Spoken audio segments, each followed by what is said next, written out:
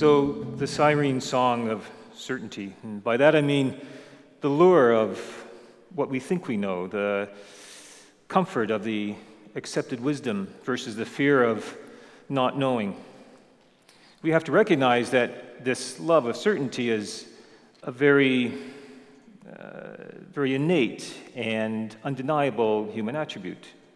It would be disingenuous, if not foolhardy, to propose that there's some group of humans somewhere, somehow, that are somehow immune to or above this love of certainty. It's, a, uh, it's an integral component of our collective psyche.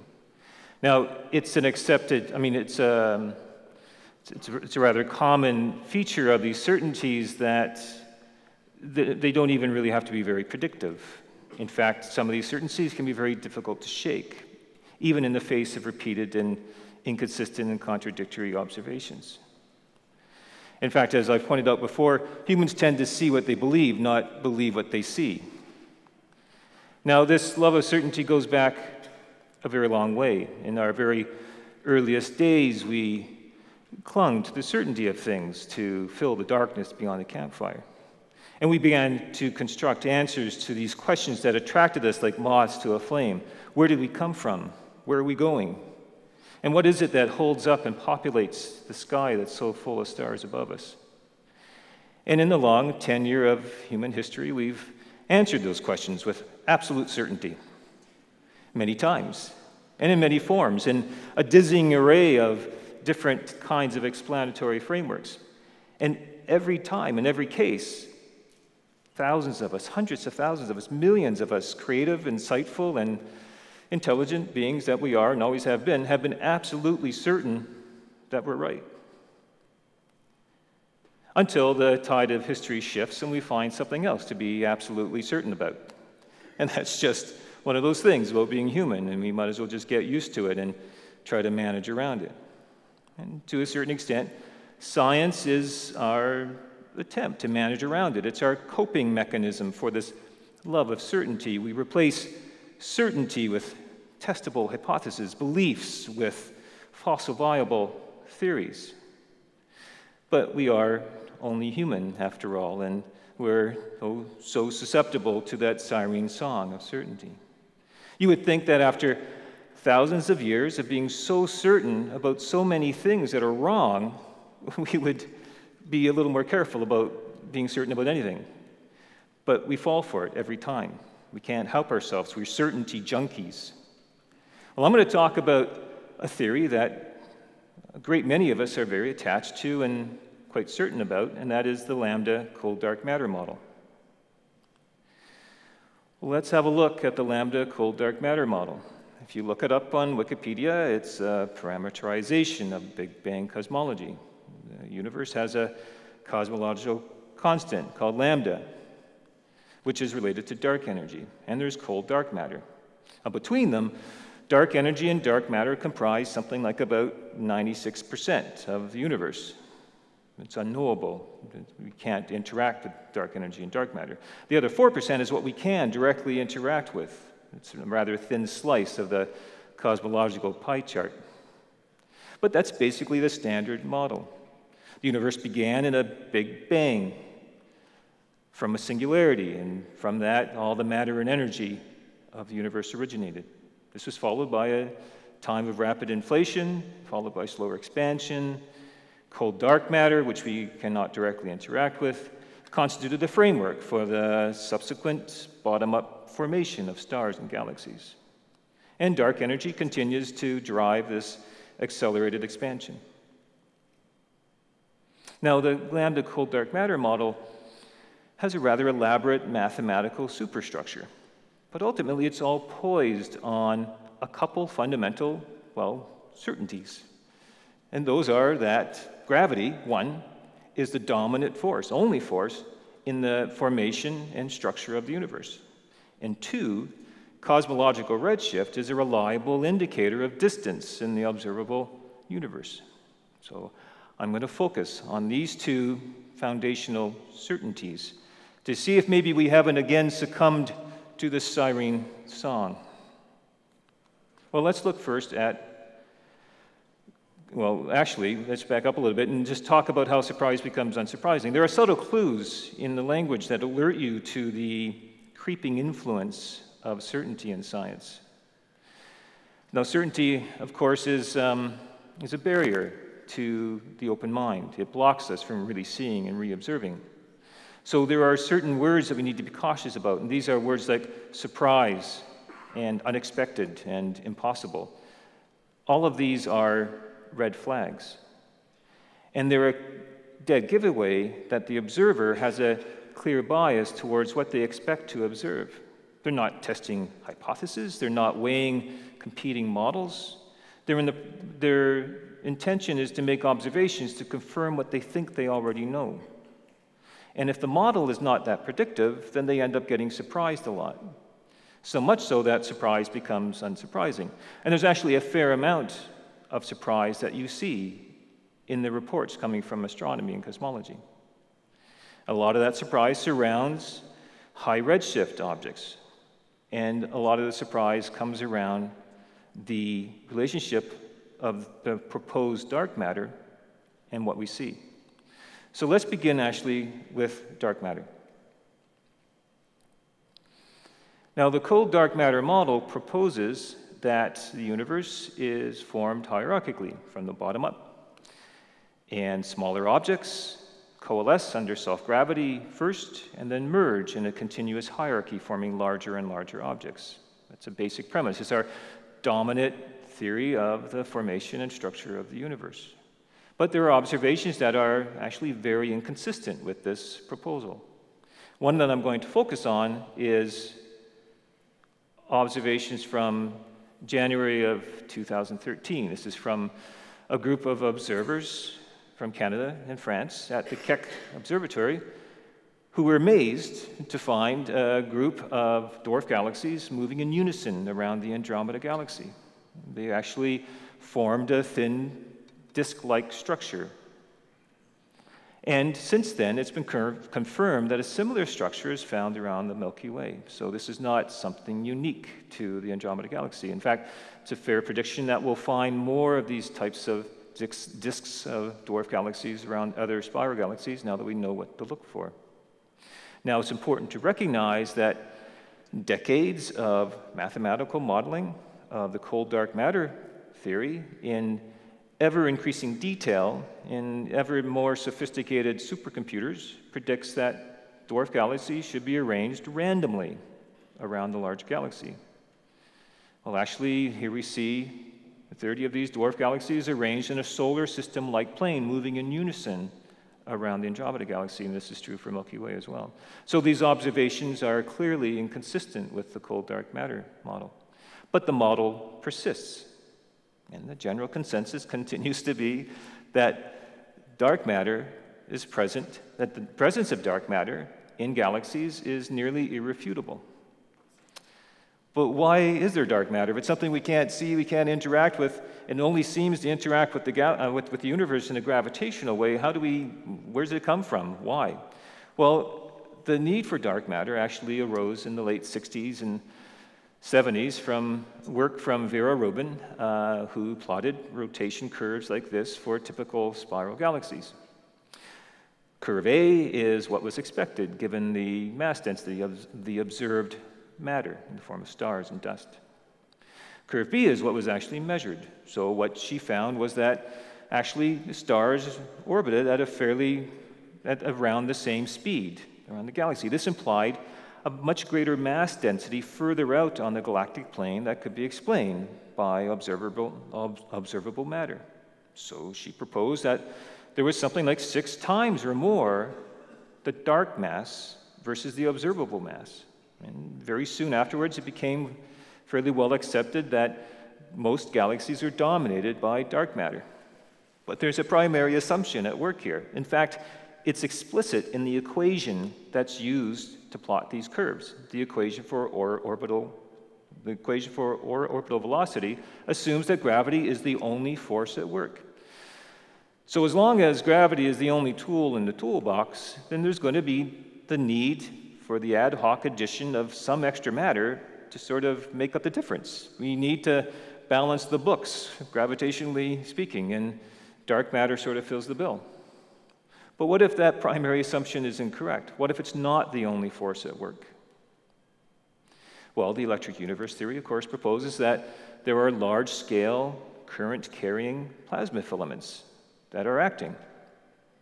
And that actually this flat rotation curve is rather consistent with an electrically driven homopolar motor. But gravity continues to dominate our thought process in the cosmological sciences. The reason for this is actually uh, worthy of an investigation unto itself, and it has to do with the glamorization of gravity, with the idolization of Einstein, and the subsequent um, rise in status of the mathematical and theoretical physicist in the mid 20th century. But as long as gravity is seen as the only force shaping and driving the universe, we're going to continue to run into these inconsistencies and surprises and unexpected observations with cold dark matter. Well, let's turn now to redshift, the other primary assumption in the lambda cold dark matter model.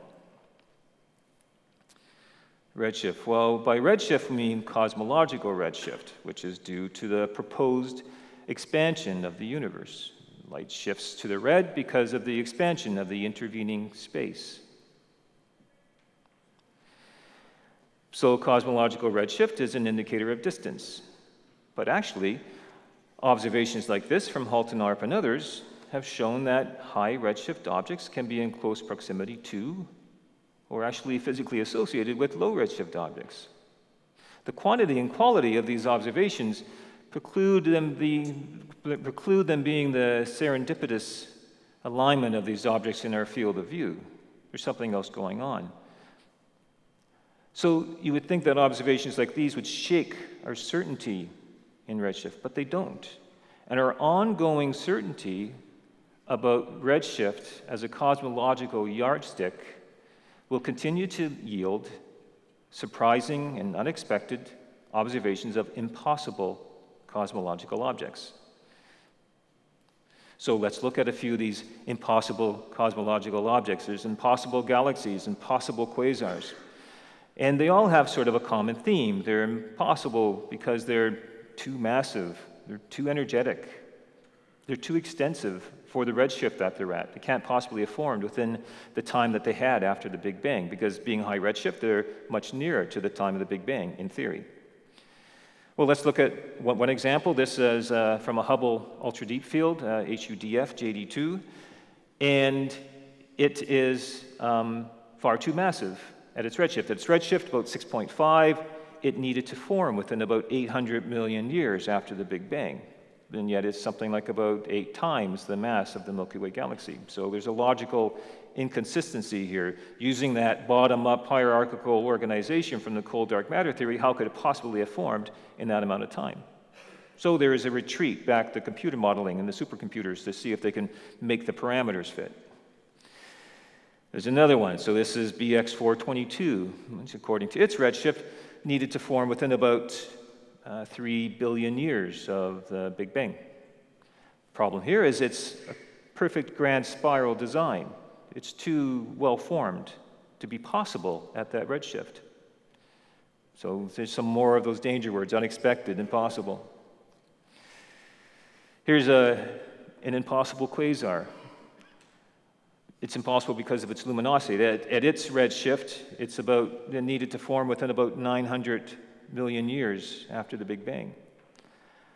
Because of the assumption of distance being related to redshift, its luminosity needs to be extreme. It's an ultra luminous object. In fact, if you do the math based on its proposed distance and its luminosity, it needs to be about 420 trillion times the luminosity of our sun. I'll just repeat that because it's a lot of zeros. 420 trillion times. So it's seven times the luminosity of any quasar detected in the distant universe.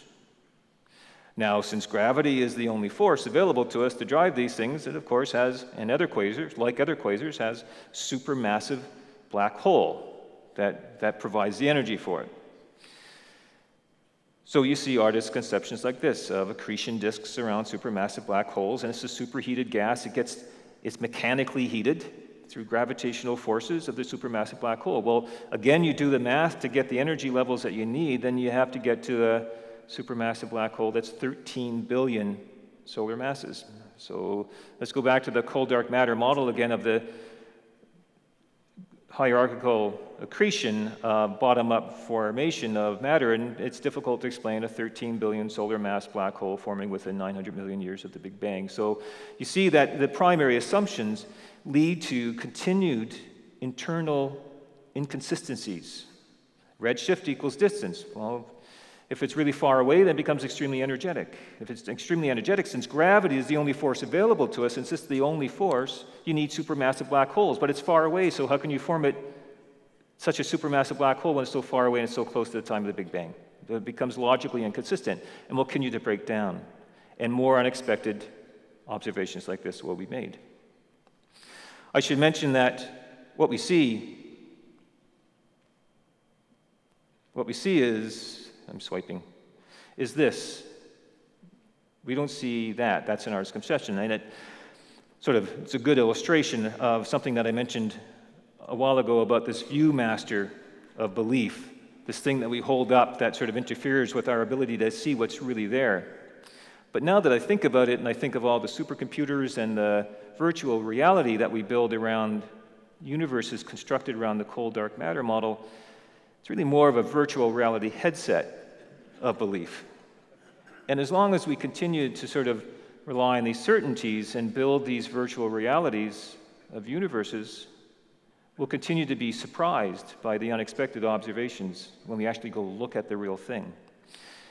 And we'll have more quasar issues. Well, so here are a couple more. There's a, a large quasar group that is 4 billion light years in extent? Well, because it's so proposed to be so far away, when you do the math, it becomes extremely extensive. Now, this was seen as a challenge to cosmological principle. The cosmological principle also underlies the lambda cold dark matter model. The cosmological principle is that from wherever, wherever you are in the universe, the universe looks the same from whatever direction you look at it. And you can actually make the computation and show that really the largest object, to be consistent with the cosmological principle, should be about 370 megaparsecs. This thing is about four times that. So, well, okay, if you follow all the logical connections, then it challenges the cosmological principle. But actually, was interesting about this when they were looking at the results, nobody actually called into question the issue around the redshift. Maybe redshift isn't telling us what we think it is. Maybe that's the problem and not the cosmological principle. This is actually just from last month, the most massive object ever, ever detected. This is a rare quasar quartet in an extensive gas nebula of gas and dust. This is apparently fueled by four supermassive black holes. And again, the problem arises. How do you, how do you get these four supermassive black holes to form in this region of space so quickly after the Big Bang? The other issue with this one, that's a real problem, is that according to the computer modeling of how these supermassive things form and how these black holes drive these quasars, the gas needs to be at a temperature thousands of times lower than what the computer modeling would tell them. So we get more logical inconsistencies.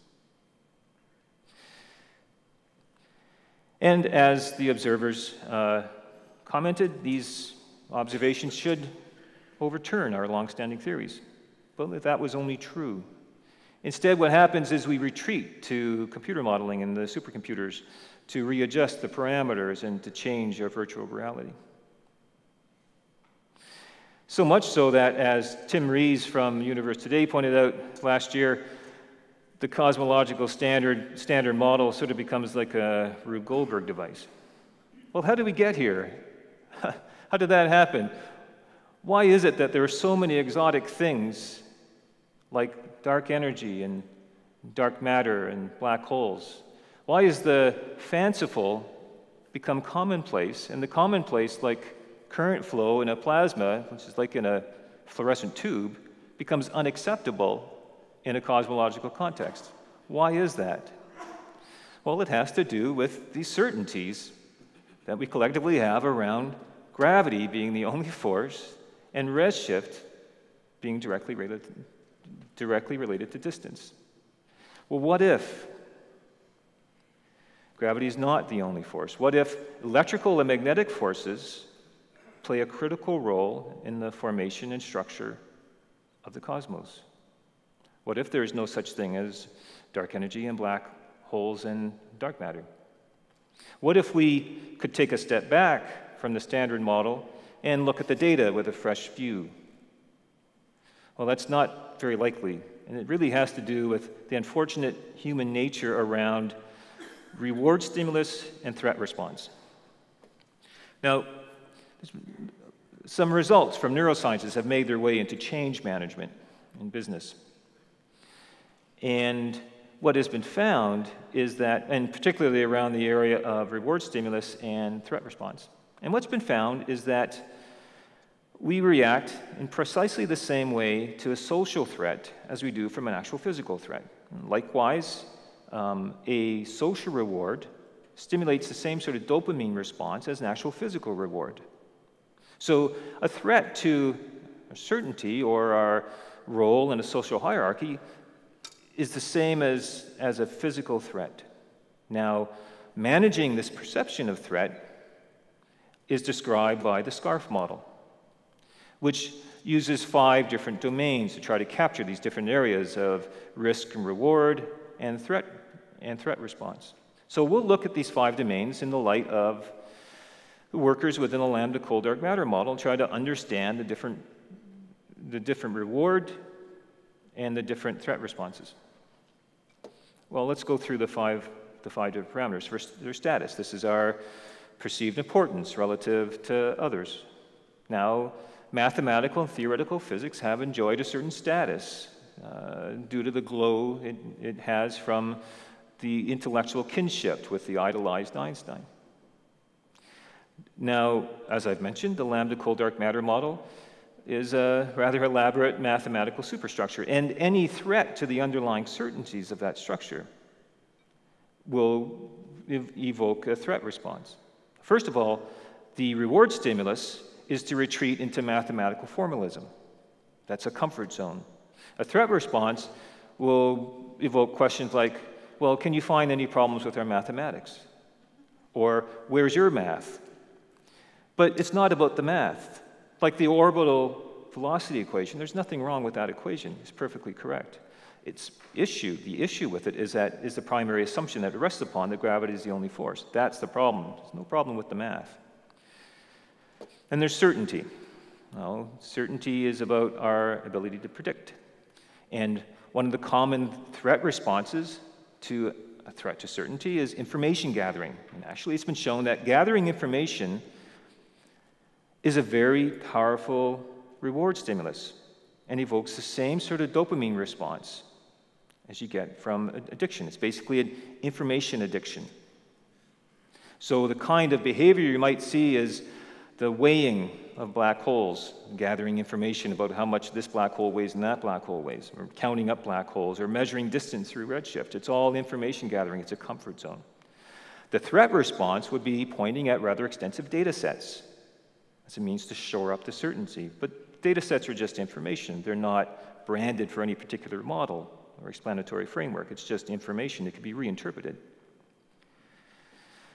Autonomy is about control and uh, comfort zone, uh, reward stimulus with in this area would be computer modeling. So working with the theoretical models of the universe in a supercomputer.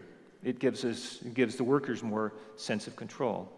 A threat response here would be to point at evidence from the experiments in, supercon- in, in supercomputers. So showing the evidence from computer modeling, which is actually just based on the mathematics. Relatedness is about being part of a group.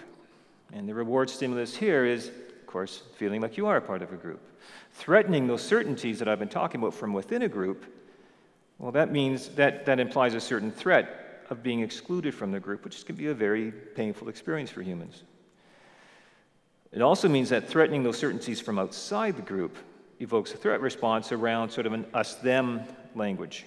And of course, that theories from inside the group inherently have more merit than theories that come from outside the group. It all has to do with relatedness. And finally, fairness. Everybody likes to be treated fairly, and it can help to attenuate the perception of threat by feeling you're being treated more fairly. But what does this all mean? Well, it all means that asking these what if questions, these dangerous, threatening what if questions, evokes threatening, evokes threat responses. And they're predictable threat responses, which include retreat into mathematical formalism and questioning of the math, um, the use of computer modeling to provide evidence that somehow shores up a certainty about the real cosmos, the pointing at extensive data sets because information helps to shore up the certainty around the model. And finally, as a last resort, um, the emphasis on us them language and, and depending on theories that come from, from inside the group. We are, after all, virtually unchanged from our tribal ancestors from tens of thousands of years ago, huddled around the campfire, and our reactions to social threat and reward stimulus is virtually unchanged. We struggle for certainty to ward off the darkness. And being intelligent, creative, insightful beings that we are, we have an immense capability to populate that darkness beyond the campfire with all manner of mythical creatures or even sophisticated mathematical models. But I can't help from asking, what if? So, what if electricity and magnetism have, are, play a critical role in the structure and formation of the universe. And we don't need things like dark energy and dark matter. What if not 4% of the universe can be directly experienced, but actually 100% of the universe is knowable and seeable and can be actually experienced and experimented with here on Earth? What if we could enter an age of empirical cosmology, much along the lines of SAFIRE, where, which is based on the notion, call it a new cosmological principle or a we're not special principle or a, a connectedness principle, I don't have a good name, that there's no form of matter or energy in the universe that cannot be experienced and experimented with here.